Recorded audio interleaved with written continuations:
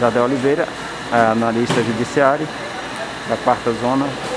É, fala um pouco para a gente que, como é que foi o dia, o dia de votação, se houver algum problema de urna, né? quantas urnas foram disponibilizadas e eu vi que teve muitas sessões também que foram agregadas. Né?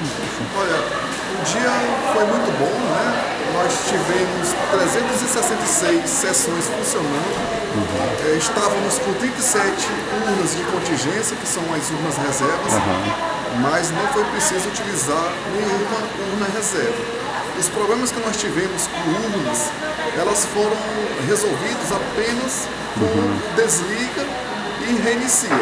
Certo. Esse procedimento foi suficiente para que as urnas destravassem ou eliminassem qualquer outro tipo de problema que tenha surgido por conta do calor, né? Exato. O dia foi muito quente e as urnas do modelo 2020 é a primeira vez uhum. que elas, elas estão sendo, foram utilizadas aqui é, no Brasil, aqui em Caxias no Brasil, esse modelo.